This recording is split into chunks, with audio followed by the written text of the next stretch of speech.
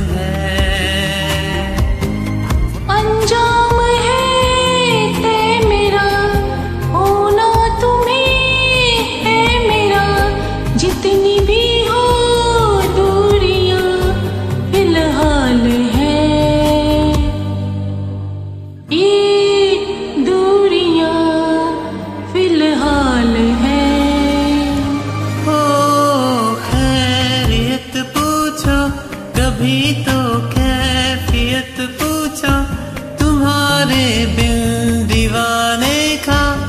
क्या हाल है